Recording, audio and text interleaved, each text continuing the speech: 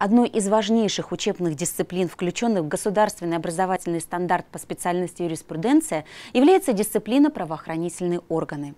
Она призвана дать полный объем знаний о системе, структуре и деятельности судебных и правоохранительных органов исполнительной власти Российской Федерации, прокуратуры, следственных органов, а также об органах, которые оказывают юридическую помощь в России и за рубежом.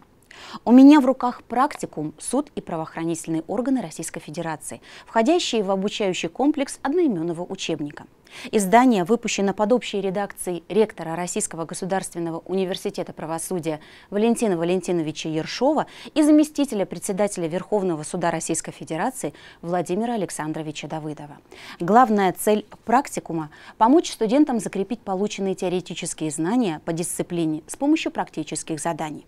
По каждой теме дается примерный план изучения.